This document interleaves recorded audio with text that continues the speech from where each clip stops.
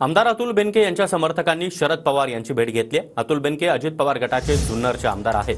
अतुल बेनकेंना पक्षामध्ये घेऊन उमेदवारी देण्याची समर्थकांची मागणी आहे.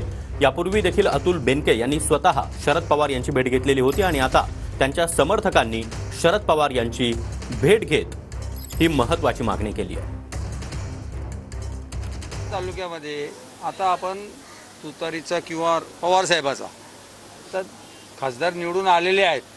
आता आमची अडचण अशी आहे का आम्हाला अतुल शेठ तिथं आमदारकीचं तिकीट त्यांना पाहिजे. तर आम्हाला एक काही गोष्टीची अडचण होते.